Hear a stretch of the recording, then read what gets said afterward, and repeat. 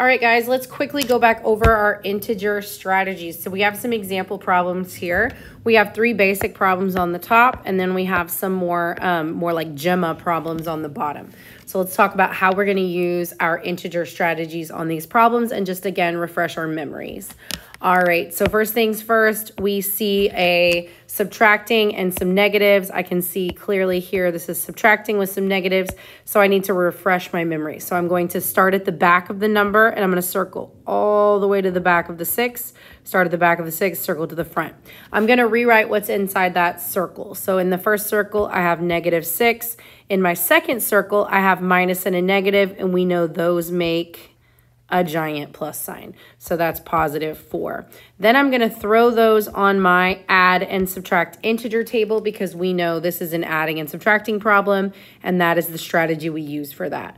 6 is negative, 4 is positive, which means that 6 is going to win, negative is going to win. And then I know different signs subtract, so 6 minus 4 is 2.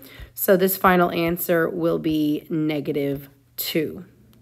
And again, same signs we add. These were different signs. So this is different signs subtract. These are teams competing against each other, so they have to subtract each other. And again, negative 1 because 6 is larger.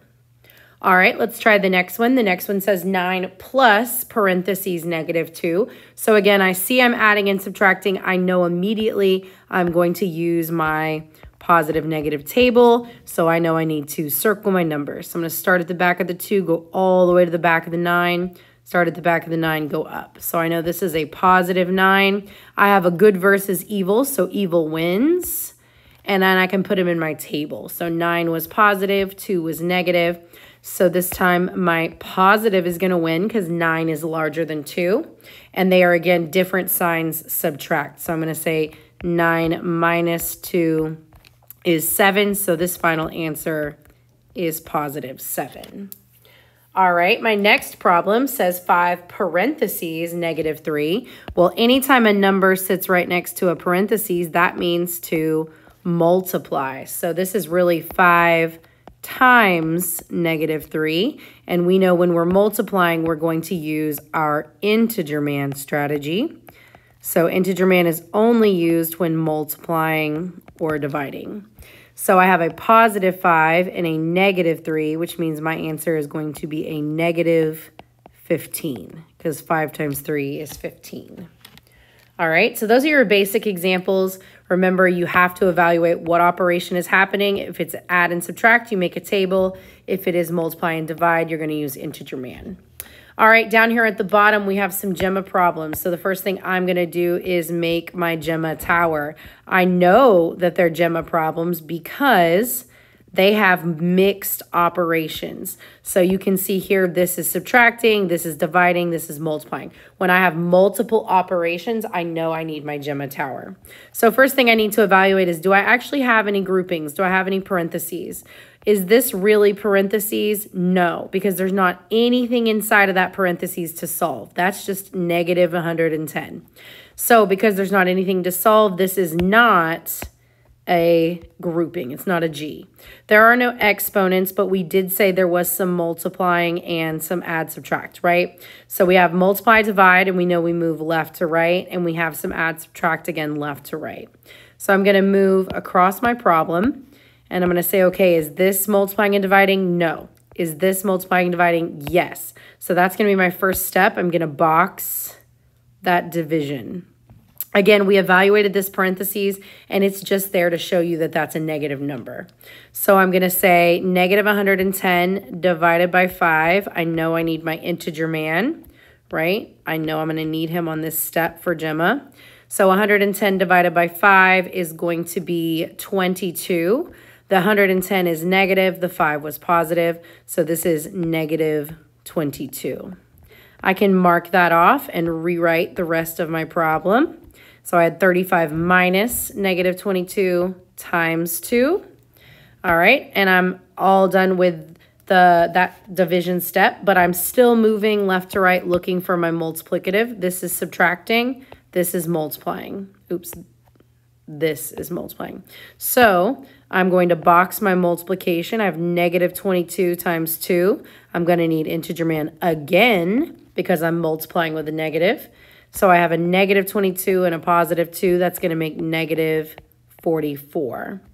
And again, I'm done with that. So I mark it off and I bring down 35 and the minus sign. Now I'm done with my multiplicative step and I'm on to my additive step. And you can see, remember, additive means add or subtract. And so in this case, I have my um, circling my numbers, just like we did up top. And I'm going to rewrite. So I had a positive 35, and we had two negatives. So those are going to get together and make a giant plus sign, my two negatives here. So this is actually positive 44. I'm going to use my integer table just to verify. I had 35 positive and 44 positive, so everything is on the positive. So that is same signs you add. So I'm going to put all my positive team members together, and I end up with positive 79. All right, so just because it's a GEMA problem doesn't mean we're not going to use our integer strategies. All right, last example is here on the right. We have negative 30 plus 2 times negative 7. So I have some plus, but I also have some times. Remember, because when you sits right here next to the parentheses, that's multiply. So I'm going to make my GEMA tower. I'm going to circle the steps that I have. I can clearly see I don't have any multiplication, I mean, any parentheses because my parentheses don't have anything to solve inside of them. But I do know that this parentheses represents multiplication, right? Multiplication, whatever symbol you like to use. And so I know I'm going to have some multiplicative and some additive, but no groupings or exponents. All right, so I'm going to start with my multiplicative, and I'm going to say 2 times negative 7. So 2 times negative 7 is going to need integer man. I have a positive 2 and a negative 7, and therefore that's a negative 14. I bring down the rest of my problem. I have a plus sign and a negative 30.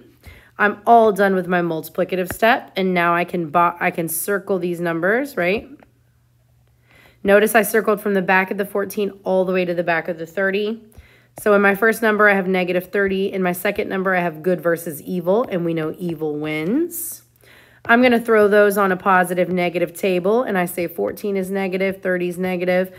Same signs you add. So I'm going to add my two negative team teammates together, and I end up with negative 44.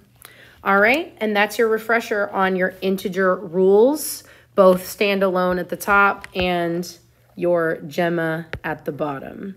All right, don't forget to use your integer rules. Go practice.